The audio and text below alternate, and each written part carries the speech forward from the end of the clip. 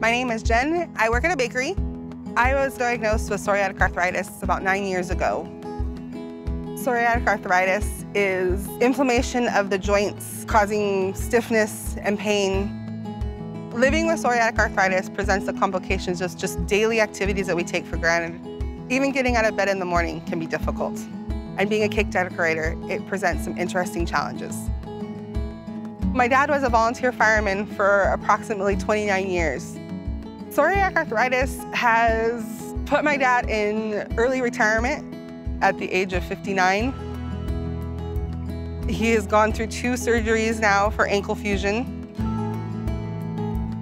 People don't realize that their bodies are trying to speak to them, so they don't reach out and talk to a doctor before it's too late. All those years that my father put in running in to rescue people out of buildings, he didn't have to do that. I wish my father would have been diagnosed earlier. I wish he would have asked for help sooner. I'm at my best when I'm helping others. I told myself I was going to get more involved. I stumbled across the National Psoriasis Foundation and was able to connect with others who live with psoriatic disease. I became an ambassador and a mentor. I haven't looked back and have gotten more involved.